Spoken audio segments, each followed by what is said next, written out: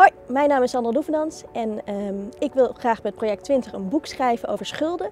Dat gaat de basis worden. En niet zozeer over schulden, maar juist om te zorgen van hoe ga je goed met je geld om. En ook om het taboe van schulden af te halen. Omdat ik zelf uh, een onderneming heb gehad die ik met verlies heb verkocht. Dus ik weet van de klappen van de zweep. En ik geloof dat als we het taboe eraf halen en we veel meer praktische tips hebben, ervoor kunnen zorgen dat meer mensen beter met hun geld kunnen omgaan. En dat iedereen uiteindelijk gelukkiger wordt.